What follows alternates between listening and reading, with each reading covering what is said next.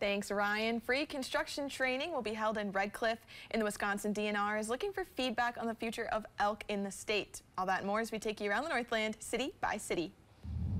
We start in Superior, where the UWS Music Department will be honoring a Northland native during a show in April.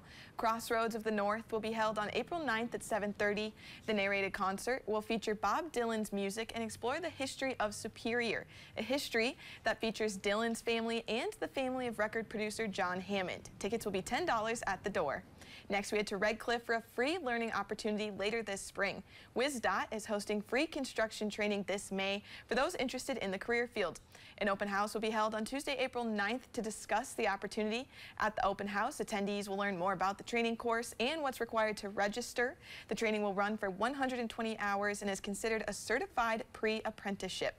And we wrap up in Wisconsin where the DNR is talking about elk. They are seeking to update the state's management plan now through April 20th. Changes are based on recommendations from the Natural Resources Board, Elk Advisory Committee, and private landowner feedback. Residents can also provide feedback on the DNR's website, which we'll have a link to at northernnewsnow.com. There will also be open houses hosted across the state for in-person discussion. Residents in our area can attend one of those sessions next Thursday at 5.30 in Hayward.